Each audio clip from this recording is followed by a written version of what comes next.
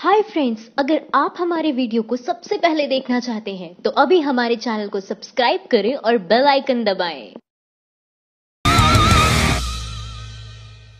आज की बड़ी खबर, स्वामी की वार्निंग अगर राम मंदिर निर्माण का विरोध किया तो गिरा दूँगा सरकार।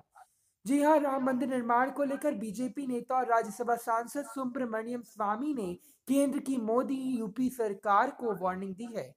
मोदी सरकार और योगी सरकार को खुद का विरोधी बताते हुए स्वामी ने कहा कि अगर इन सरकार ने राम मंदिर निर्माण का विरोध किया तो वो सरकार गिरा देंगे।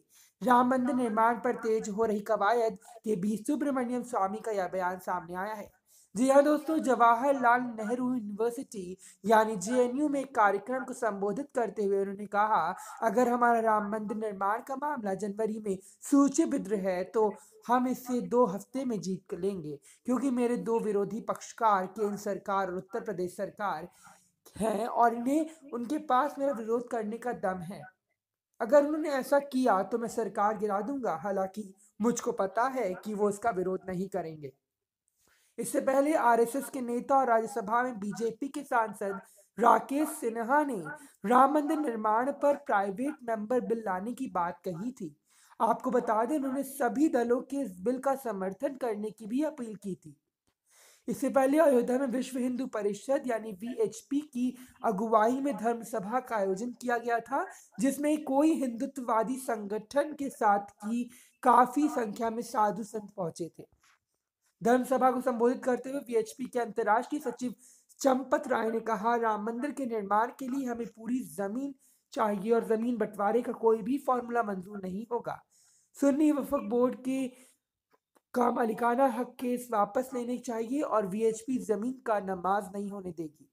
बता दें कि राम मंदिर पर इलाहाबाद हाई कोर्ट ने अपने फैसले में विवादित ज़मीन को तीन हिस्सों में बांटा था। इसके अलावा धर्म सभा में मंच में आरएसएस के अखिल भारतीय सह कार्यवाहक कृष्ण गोपाल ने कहा कि धर्म सभा का जो भी निर्णय होगा, आरएसएस उसे मानेगी। जगत गुरु रामानंदचार्य स्वामी राम भद्राचार्य ने भी धर्म सभा को संबोधित किया। इस दौरान उन्होंने कहा कि केंद्र सरकार के एक बड़े मंत्री का हवाला देते हुए कि उन्होंने भरोसा दिलाया है कि 11 दिसंबर से 12 जनवरी तक राम मंदिर पर बड़ा फैसला होगा।